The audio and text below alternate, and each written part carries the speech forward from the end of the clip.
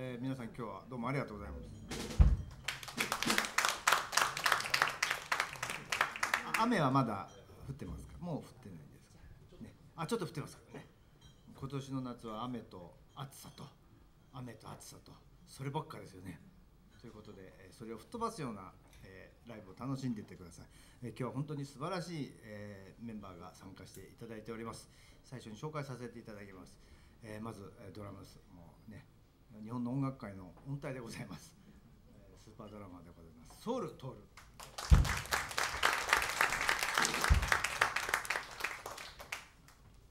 えタイミング的に大丈夫でしょうか。あ大丈夫あの、えーこちらもまたあのジャズのベースで音体でございます。もうジャズだけじゃなくてね、あのサポートでもいろいろとんでもない方々をやってるとんでもないベースプレイヤーでございます。おさむ光一。えーそれから、えー一昨年ぐらいからなんかねちょっとご縁あって、えーとこの方もすごい方でございます。あの元ソフィアのキーボードでございます。あ一応まだ継続あ大変失礼その辺微妙ですよね。あのそうそうその辺ね。早稲田さんなんか元って言ってもおかしいしね。であの素晴らしいあの今日はねピアノ一本でやっていただくんですけど宮古圭一。えーこうなると私は全然大したことないギタリストでございます。杉本敦彦です、えー今日はこのメンバーでですねあの久しぶりにオリジナルばっかりやるつもりでおります、えー前作の「トゥモローランド」というアルバムと、え2月に出しました「クラブダーズ」のオリジナルから、えー全部演奏しようと思っております、え1曲目は、え涙の向こうに」というあの震災に向けて書いた曲でございます。聴いて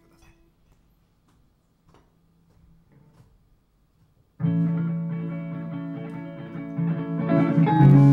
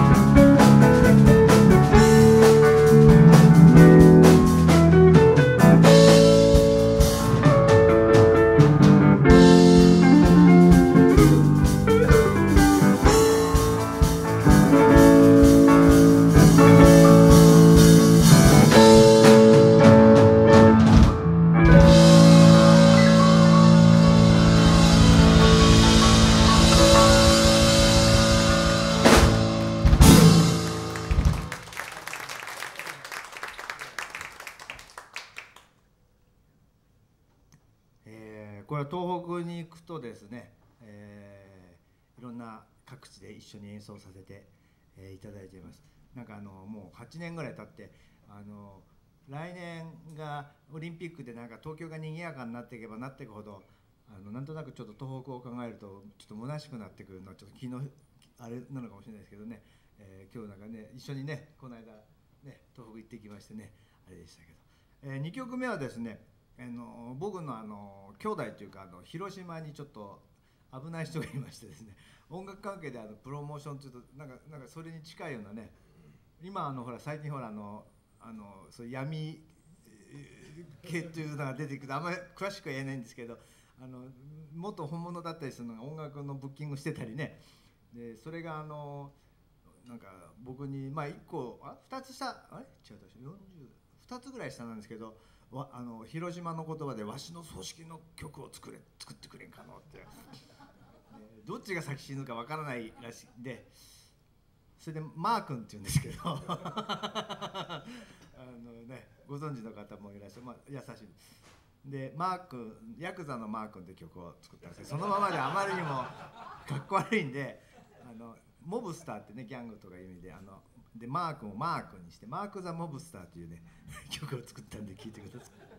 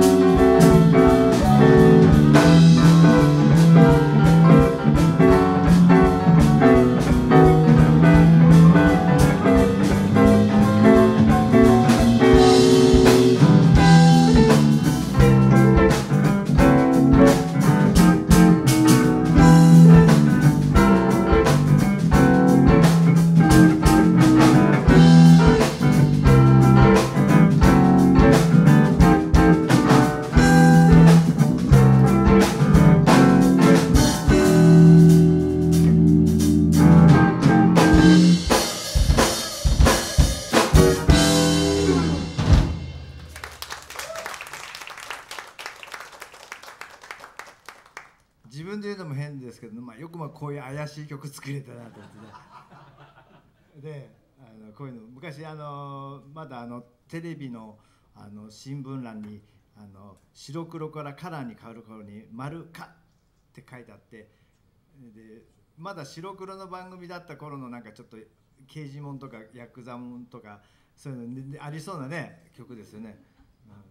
うん、面白いものですこれはね。あの次はですねあの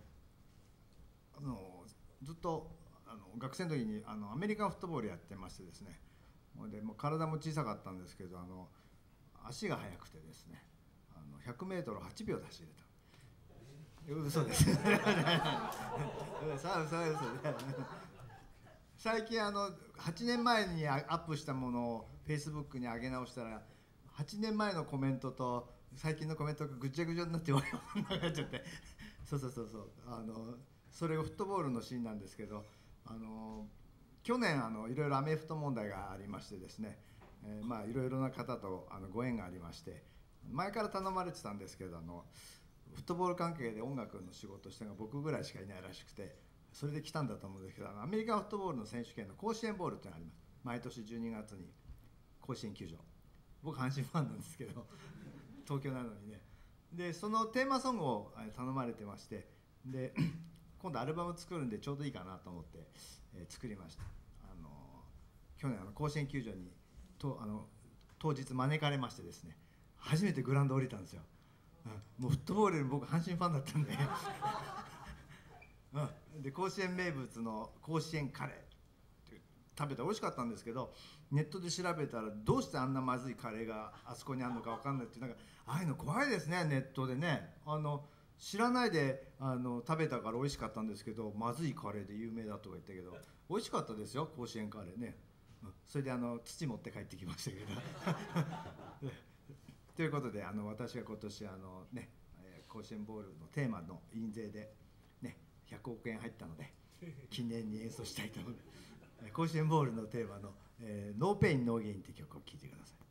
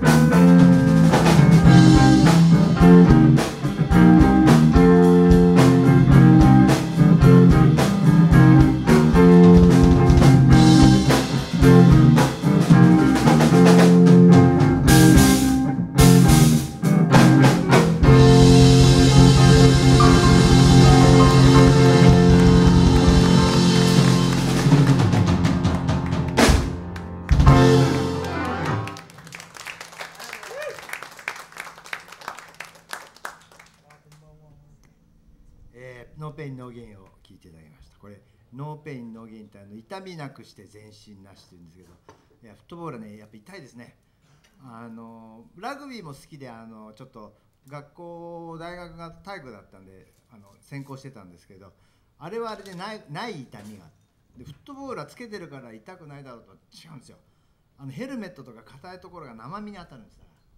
だから背中なんかあのヘルメットのフェイスガードですられてねもう散々な目に遭いましたね。足の骨は折られるわ肩は剥離骨折。当にあの自分の息子にはやるなって言ってあります。あの2世プレーヤー多いんですけど僕はねやんなくていいって言ってですね。やっぱあのもちろんほらウィンドサーフィンとかね。あのゴルフとかテニスとかね最近ほら日本人の進出すごいじゃないですかね。うん。えー次はちょっとまた「トゥモローランド」からの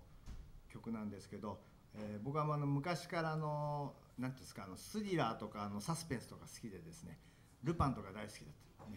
きっかけともちろん峰不二子ですけどあのねあの時代ねあのルパンが好きで原作のルパンとかホームズとか。でやっぱあの明智小五郎が出てくる江戸川乱歩の本が好きであのあれ夜夜中読むとちょっと怖いんですよね。なんかこう人影がね来たりて「とかね、うん。ミスター・ビン見たことあります？ミスター・ビンはあのほらなんか自分がホテルから階段降りようとしたら前におばあちゃんが歩いてこんなことやってましたけどね。すごいブラックですよねあれね。それでなんか通り越して前行ったらまた今度はじいちゃんがいてまたこんなになってる。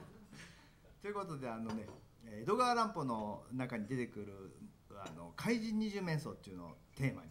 曲を作ってみました。これも怪しい曲ででこの曲すごくいい曲であの皆さんあの聴き入ってしまうんですけどあの曲やってる間にですねよく物が盗まれる。だからそういうあの高そうなペンダントとかですねお財布とか、ね、そちらの方300万円ぐらい入ってる財布とかあの気をつけてください。大体あそこにいるスタッフのポケットに入ってると思いますんであのそれであ逃げて逃げて怪人二十面相という曲を聴いてください「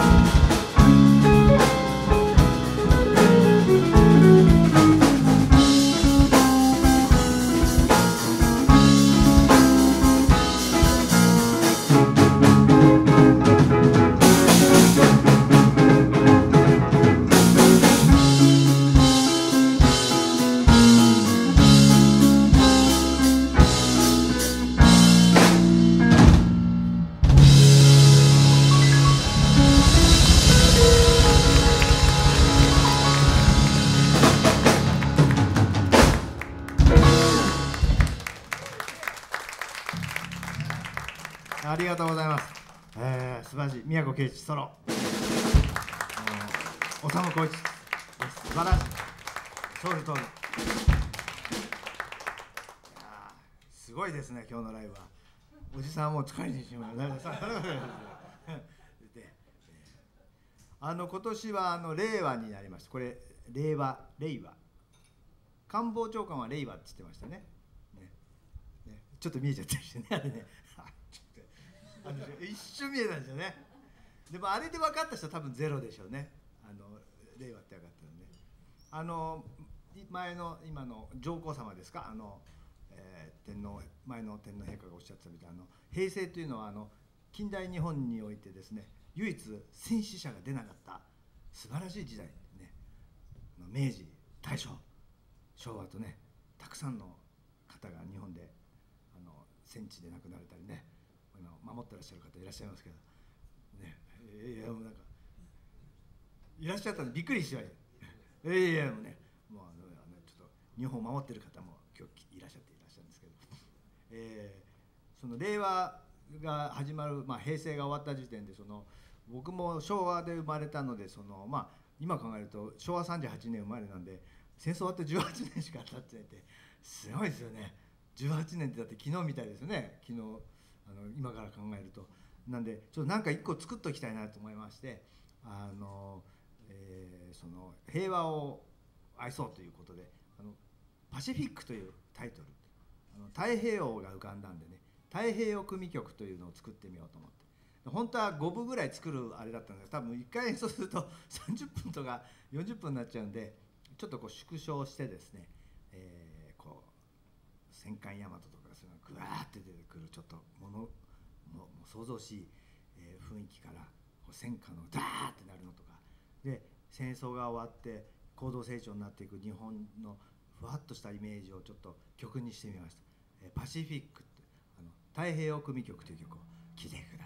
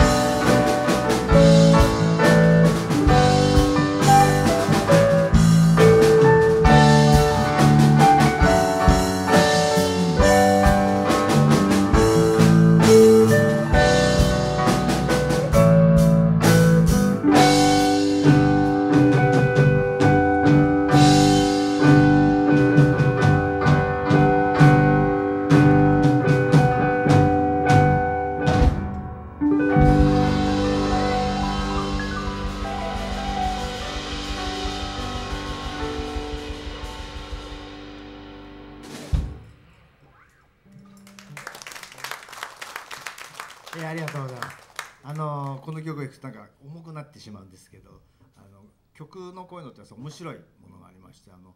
えー、昔もう20年ぐらい前か17年ぐらい前かな、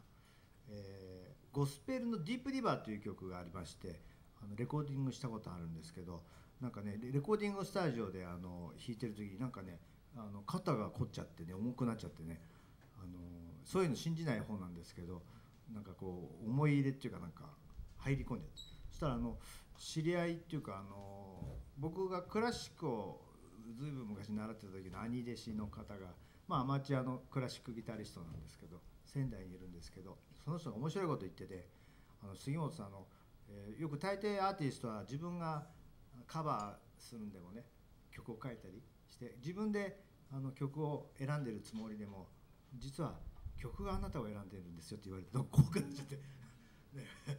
夜メールで来てなんかあ掲示板だったかな当時なんか怖いこと言うなよなんて思っちゃってしばらくディープリバー弾くの怖くなっちゃったんですけど年齢とともにだんだんそういうのもこうほらあのあんまり浮かばなくなってきてね思い出さなくなってきたので大丈夫ですけども今の曲なんかちょっとそれ入るのかなと思ってね「こうええで」とかなんでね